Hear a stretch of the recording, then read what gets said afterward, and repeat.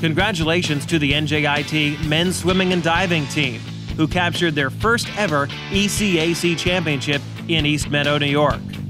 Well, it's an incredibly rewarding feeling to capture our first ECAC championship. I think it's a real testament to how much work we've put in over the past year.